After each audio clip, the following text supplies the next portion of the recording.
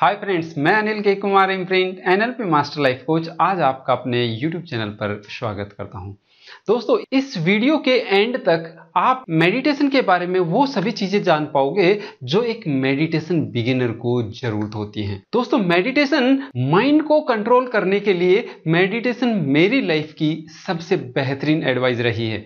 जब से मैंने इंप्रूव करना शुरू किया तो मेडिटेशन एक बेहतरीन मेंटल टूल रहा है, जिससे आप अपनी लाइफ में बहुत आगे तक बढ़ सकते हैं। इसके बहुत से बेनिफिट होते हैं। कुछ बेनिफिट तो आपको हैरान कर देंगे। मेडिटेशन आपको सेल्फ कंट्रोल देता है। आपकी एंजाइटी को कम करता है स्ट्रेस को कम करता है, आपके एंगर को कम करता है। इससे आपकी हेल्थ बेहतर होती है, आपको नींद अच्छी आती है और आपका फोकस भी बढ़ जाता है। लेकिन ये सब तो ऊपर के बेनिफिट हैं, जो डीप बेनिफिट होते हैं, वो तो अल्टीमेट होते हैं। आप अपनी लाइफ के हर सिचुएशन को बहुत ही काम तरीके से हैंडल करना शुरू कर देंगे। आपका ब्रेकअप हो जाए, चाहे आपकी जॉब चली जाए, आपको कोई फ़र्क नहीं पड़ेगा। आप बिल्कुल शांति से अपनी लाइफ को आगे बढ़ाते चलेंगे। इससे आप अपनी एडिक्शन से भी छुटकारा पा सकते हैं और आप अपनी सराउंडिंग को पूरी तरह से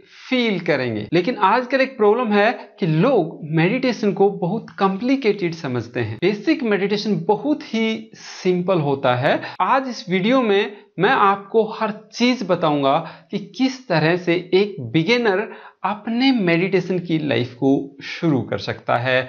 किस तरह अपने साथ में वो एसोसिएट हो सकता है? आपको तीन चीज़ों पर ध्यान रखना होगा, जो आपको मेडिटेशन में पूरी तरह सहायता करेंगी। इससे पहले कि मैं आगे बढ़ूं, मैं आपको बताना चाहूँगा कि मेडिटेशन होता क्या है। सिंपलेस्ट वे में यदि मैं आपको कहूँ तो मेडिटेशन अपने दिमाग को शांत करना होता है। पहली चीज़ जो ध्यान में रखने वाली होती है वो होती है आपका इन्वायरमेंट अपने लिए एक कंफर्टेबल जगह ढूंढिए बैठने के लिए। इससे कोई फ़र्क नहीं पड़ता कि आप चेयर पे बैठेंगे या आप नीचे।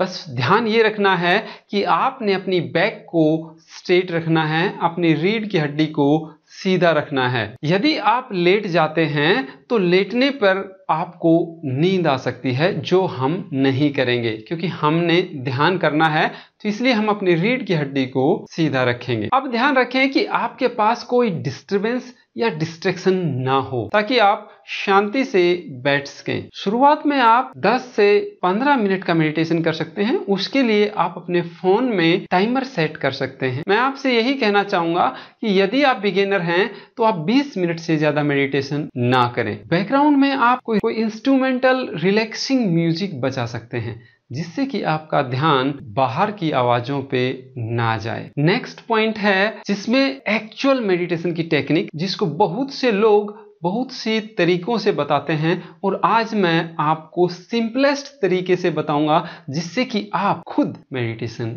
कर पाएँगे। दोस्तों, आपकी आँखें होती हैं आपके दिमाग की इंफॉर्मेशन का द्वार। तो सबसे पहले कोमलता के साथ आप अपनी आँखों को बंद करें और गहरी सांस लें और अपने ध्यान को अपनी सांसों पे लगाएँ और देखें किस तरह से ऑक्सीजन आपके अंदर जा रही है, किस तरह से आपके लंग्स में एक फुलावट आती है। उस फुलावट को, उस सेंसेशन को अपने शरीर में महसूस करें। और ध्यान दें कि जब वो हवा आपकी बॉडी से निकलती है, आपके शरीर की सारी टेंशन बाहर निकलती, हवा के साथ बाहर निकल जाती है। और अपने ध्यान को अपने सांसों पर लगाए रखें। आपका ध्यान अक्सर दूसरी चीज़ों पे बार बार जाएगा, लेकिन उसको बार बार पकड़ के वापस लाना है। ये केवल आपके साथ ही नहीं हो रहा, ये हर बिगिनर के साथ शुरू में होता है। आपके पास विचार आ रहे होंगे। कुछ समय जब आप मेडिटेशन कर रहे होंगे तो आपके पास कोई काम याद आएगा। कोई इंपॉर्टेंट फ़ोन याद आएगा या कोई इंपॉर्टेंट ऐसा काम याद आएगा कि ये तो करना था और आपका उठने को मन करेगा। लेकिन वहाँ पर फिर अपने मन को अपनी सांसों पे लेके आना है। यदि आपका ध्यान बार बार भटक रहा है तो ऊपर आई बटन पर मेरी पुरानी वीडियो का लिंक है, जिसमें मैंने ये बताया है कि अपने थॉट्स को कैसे कंट्रोल करें, अपने विचारों को कैसे शून्य करें। वो वीडियो देख लीजिएगा, आपको ध्यान करने में मदद होगी। नेक्स्ट मेडिटेशन आपको सिखाता है, आपके माइंड को कंट्रोल करना, आपके पास आ रहे दिन भर के कचड़े को फ़िल्टर करना और अपने थॉट्स को फ़िल्टर करके प्रोडक्टिव और पॉजिटिव थॉट्स अपने लिए इकट्ठे करना। आप हर रोज मेडिटेशन करते समय यह ध्यान दें कि जितना आसान आप इस मेडिटेशन को बना सकते हैं, आप बनाइए। मेरी एनएलपी की वर्कशॉप्स में मैं लोगों को कम समय में बेहतर माइंड कंट्रोल करना पीक परफॉर्मेंस करना ही सिखाता हूँ। तो आप भी इसके अंदर आपके घर में किसी कॉर्नर में एक ऐसा फिक्स जगह बनाइए जहाँ पर आप हर रोज मेडिटेशन करेंगे और अपना टाइम भी फिक्स कीजिए कि इतने बजे आप मेडिटेशन करेंगे। उससे आपको एक आदत पड़ेगी। और हर रोज सुबह उठकर नित्य क्रियाएँ करके हल्का फुल्का व्यायाम करके आप मेडिटेशन कर सकते हैं। क्योंकि सुबह आपका कॉन्शियस माइंड इतना एक्टिव नहीं होता और सुबह आप अपने सबकॉन्शियस माइंड को आसानी से एक्सेस कर सकते हैं। और जब आपका टाइम अप हो जाए, तब आप अपने दिनचर्या के कार्यों में लग सकते हैं। बेसिकली आपको वो सब कुछ करना है, जिससे कि आपको मेडिटेशन करने की आदत पड़ जाए। अब आता हूँ तीसरे पॉइंट पर।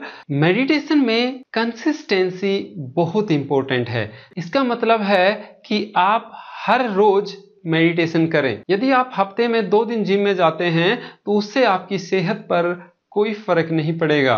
उसी तरह यदि आप हफ़्ते में दो तीन दिन मेडिटेशन करते हैं या कैजुअल मेडिटेशन करते हैं तो आप उसका फ़ायदा नहीं उठा पाएँगे। इसलिए एक कंसिस्टेंसी रखिए, लगातार रखिए, थोड़ा समय कीजिए, लेकिन रेगुलर कीजिए। और जब आप रेगुलर करेंगे तो आप इसका अनुपम बेनिफिट अपने अंदर महसूस करने लगेंगे। अब मैं आपको बताता हूँ कि ज़्यादातर लोग मेडिटेशन को कंटिन्यू क्यों नहीं रख पाते? क्योंकि वो दो हफ़्ते करते हैं और फिर उनको अपने अंदर कोई इंप्रूवमेंट नहीं नज़र आता तो वो छोड़ देते हैं। मेडिटेशन इस तरह काम नहीं करता। मेडिटेशन एक रात का खेल नहीं है। मेडिटेशन बहुत पावरफुल चीज़ है जब आप अपने साथ एसोसिएट हो जाते हैं। आपकी लाइफ में इसके बेनिफिट आने में समय लगेगा। लेकिन आप मेरी बात पर विश्वास कर सकते हैं, आप आदत बना लोगे, हर रोज इसे करोगे तो आप पूरी तरह बदल जाओगे। आप में कभी फ्रस्ट्रेशन नहीं होगा, आप में कभी एंजाइटी नहीं होगी, आपको कभी स्ट्रेस नहीं होगा। इसलिए इसे कंटिन्यू करते रहिए,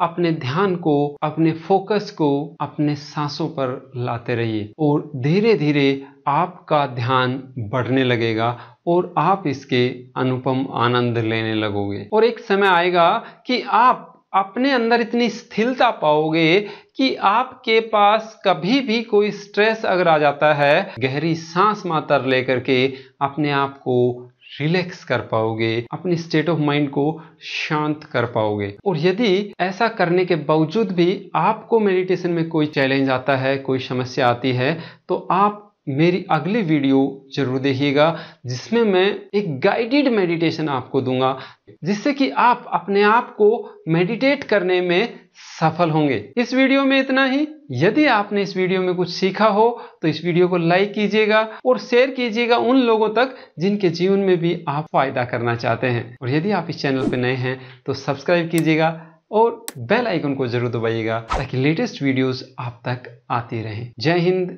जय भारत। आपका दिन शुभ रहे।